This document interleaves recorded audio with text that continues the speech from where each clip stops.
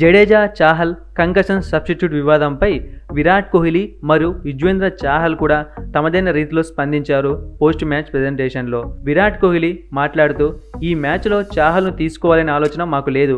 Concussion substitute అనేది విచిత్రమైన పరిస్థితి.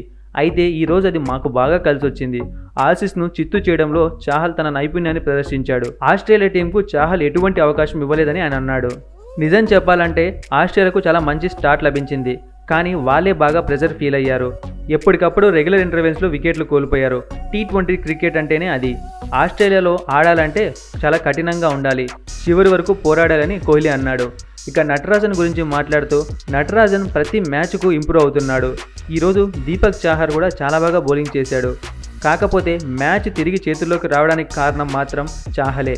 ఈ మ్యాచ్లో పించ్ ఇచ్చిన క్యాచ్ను హార్దిక్ పాండ్యా చాలా బాగా అందుకున్నాడు.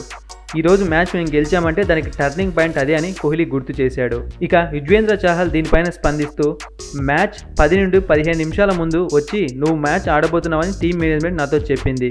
వన్డేలో చేసిన తప్పులు నేను మళ్ళీ చేయకూడదు అనుకున్నాను అందుకే ఆదమ్ జంపా ఎలా బౌలింగ్ చేశాడో తనలాగే నేను కూడా బౌలింగ్ చేశాను.